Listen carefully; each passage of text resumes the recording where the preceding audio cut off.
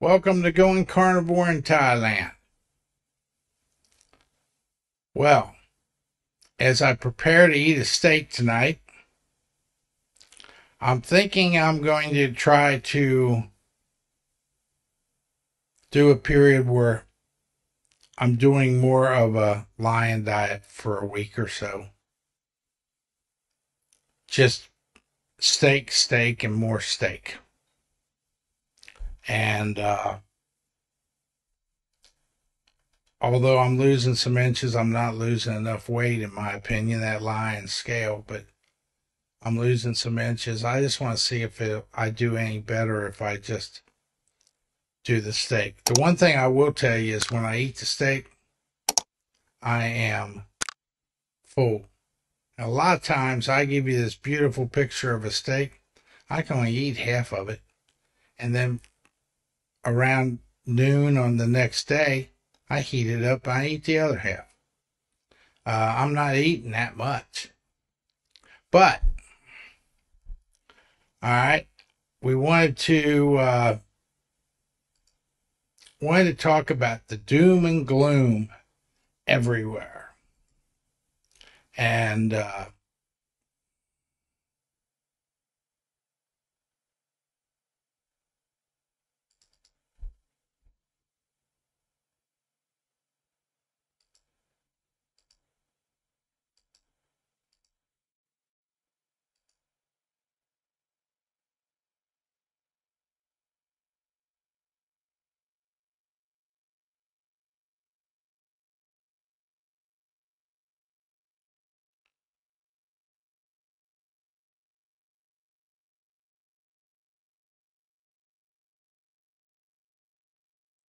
Okay.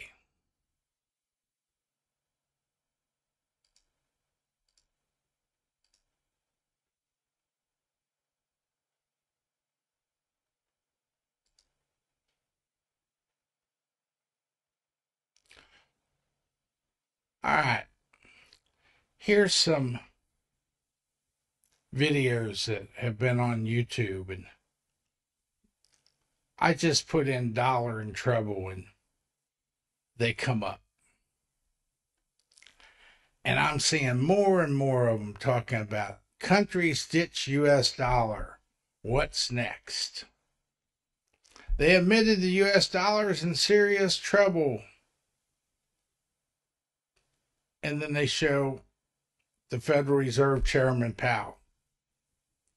Is the dollar in trouble? This has been a year ago. Well,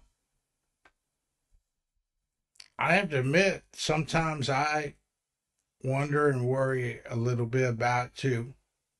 You never know. But I will tell you one thing about doom and gloom here. In the United States, this is an election year. And the current administration is not going to allow anything to happen to the US dollar no matter who they got to threaten, kill, or bribe. They are going to continue to do everything they can to provide the illusion that all is well. Now, after November 5th and the election occurs, who knows? No guarantees. But this is going back, in my mind, to the Bitcoin standard. If you have a good portion of your liquid net worth self custodied in Bitcoin, and anything were to happen to throw the U.S. financial system into a tailspin,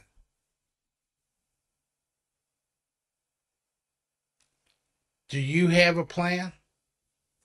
If the banks were closed for two weeks or your account was closed for two weeks because of some unforeseen black swan event, do you have a way of getting your hands on a little bit of fiat currency so you can eat and conduct your life? If you wanted to travel somewhere else because of a war that came up or whatever, do you have a way of getting your money to come with you in a way that the government cannot stop? No government? Well, if you're free, if you have financial freedom and you have and you're a sovereign individual, you will not be subject, at least not all of your net worth or not all your liquid net worth will be subject to what they call capital controls. The International Money Fund, the IMF Bank is writing all these memos and reports about how they can prevent people from bypassing capital controls. Let me tell them a little something. There's your capital control. Take a good look at it. I don't want to be controlled. I want to be a free individual. And I want the government to stay out of my business as long as I'm not hurting anybody else. And for those people who follow me on this channel, I know this isn't necessarily crypto related, but if you want to continue to be able to eat ribeyes in a world of financial strife, then you need a plan to be able to do that no matter what happens. Now, there's nothing going to happen between now and the election except everybody in the White House and everybody in Congress on the party that's in power side is going to say, All is rosy. My God, you should be so happy. Don't pay attention to that $6 oil price for gasoline. Don't pay attention to how much that chicken costs. Don't believe your lying eyes at the grocery aisle because all is good. Well, they can keep saying that, and they're going to keep borrowing $1 trillion. $1 trillion every three months, every hundred days. They're going to borrow a trillion dollars to add to the amount that they owe. They're going to keep spending deficit spending. They're going to keep on spending. They can't figure out how to have any austerity and save a little money, cut back anywhere. But don't worry, nothing's going to happen till after the November 5th election, if then. But Maybe it goes on for years and years and years. We've seen this movie before. Countries that have debt in excess of 100% of gross domestic product usually have serious inflation. The Fed is using monetary policy what they call MMT, modern monetary policy, to try to keep everything running smoothly. What they need is fiscal policy on the government's part. They need to quit spending so much money. The U.S. government is spending more than they have. Now, U.S. big place, they can do that for a long while. They've been doing it for 40 years They've been playing the, the debt game for 40 years.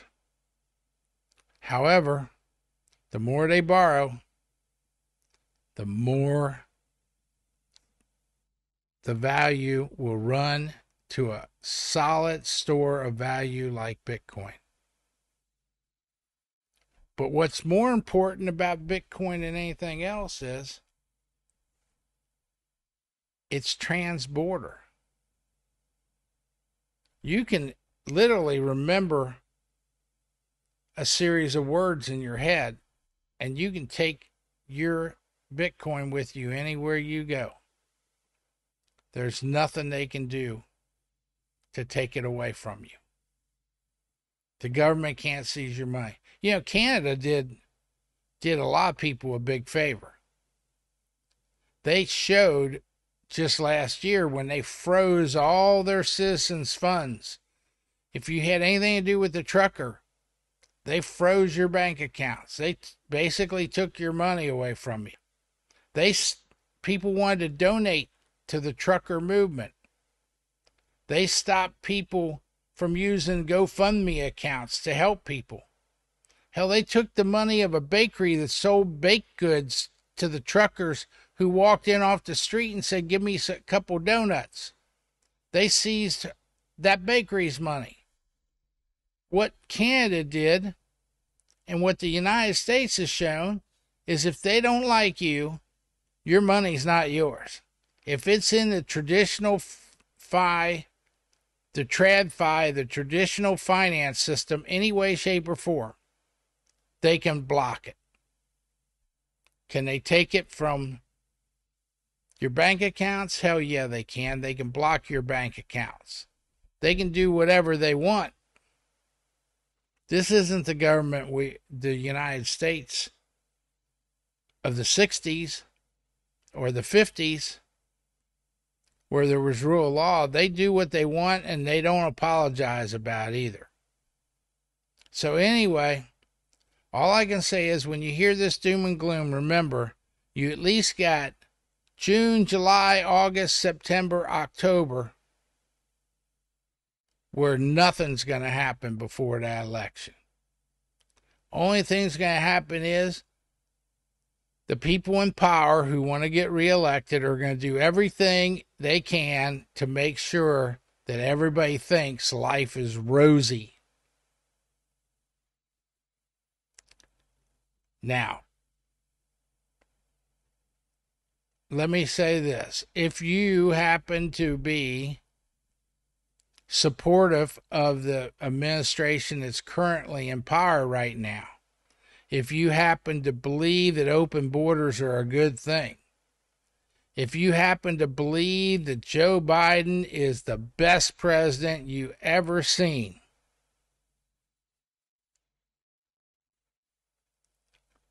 well, I will say this.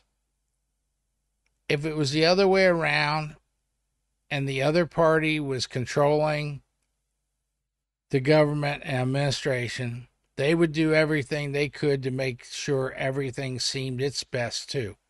Because that's just the corrupt nature of politics. You manipulate everything to make you look the best you can look. Truth be damned. I don't think most of the people, especially the senators up there, I don't think most of them could spell the word truth. There's a few of them that I get a kick out of who try their best to show just how bad this system is.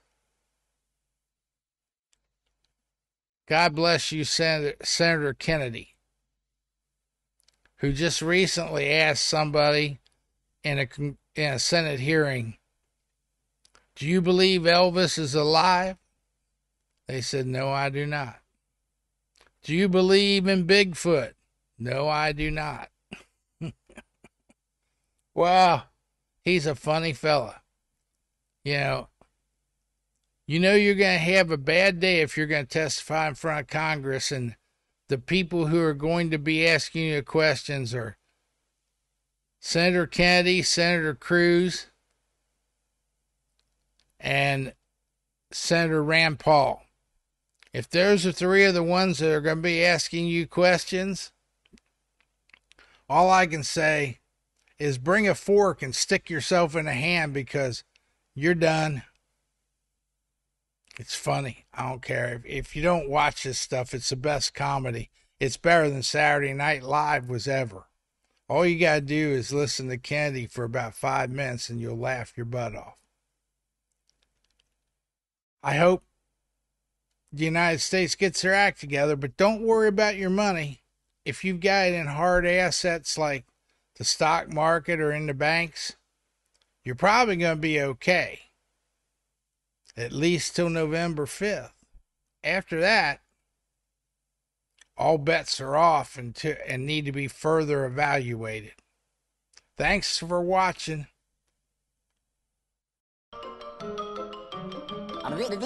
That's all, folks.